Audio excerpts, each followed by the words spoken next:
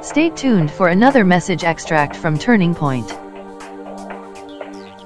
Continuation of last week's Sunday message that an enemy called gossip. Look at somebody say, an enemy called gossip. An enemy called gossip. Shout it better. Say, an enemy called gossip. An enemy called gossip. I told us that an enemy called gossip is very powerful. He has ruled many things, but it's one thing that people have neglected. It's an enemy that people have neglected, but very powerful. This enemy has brought people to the grave. This enemy has taken people to the prison. This enemy has set relationship apart. This enemy have led to people backsliding out of churches. This enemy has made people to church religion, change religion. This enemy has made people from up to come down. This enemy has separated courtship.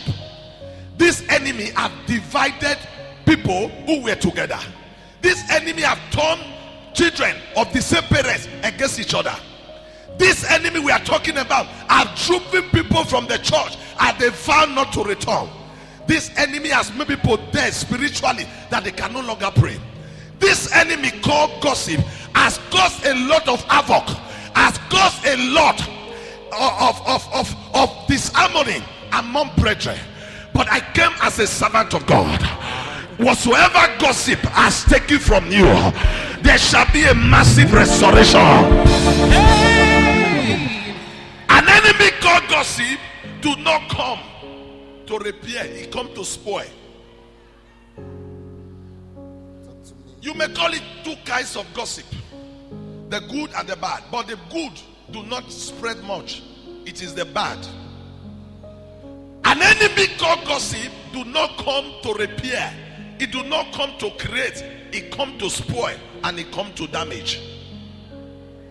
Please write it down. An enemy called gossip did not come to repair, it did not come to create, it came or it comes to destroy. So anytime you permit gossip in your relationship, expect destruction. Anytime you permit gossip in the church, expect the church to be destroyed. Anytime you permit gossip in among brethren, expect the relationship to be destroyed. So an enemy called gossip came to destroy. And that is why you will agree with me. If you agree that the enemy called gossip came to destroy, shout amen. Amen. That means John 10 10 that said the thief cometh to steal, to kill, and to destroy. That means a weapon of gossip is from the devil. Yes, sir.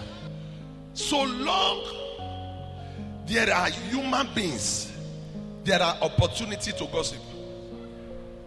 So long there are what? Human beings, there are opportunity to gossip will be there. But it is you that controls it. Am I talking to somebody here? I told you that people who gossip lose focus. People who gossip lose things. Am I saying the truth here? The strongest target of gossip is relationship. What gossip is targeting? The essence of gossip in general is to destroy relationships. The essence of gossip, why devil is after gossip or uses gossip is against relationship. Many women have been driven out of home because they put ear down. Remove your ear from ground. Tap somebody say, remove your ear from ground. God will not put her for ground, put her for ear. You know why? Why you can't put your own for ground? They see.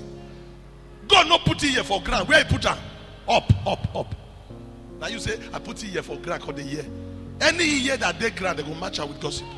Even some of us today, your relationship with God has been poisoned because of gossip. There was a time in your life you can worship God and you cry, you feel His power. But somebody came to you and said, Do you know that choir master don't like you? He don't like you. If you see what they talk for your back, you know will believe. And the following Sunday, Now the choir master call they take worship. You know agree worship. Because for your mind, how can somebody who is criticizing you taking worship? That's what you call the look. That is the beginning of your downfall. You say, wait, I best will be.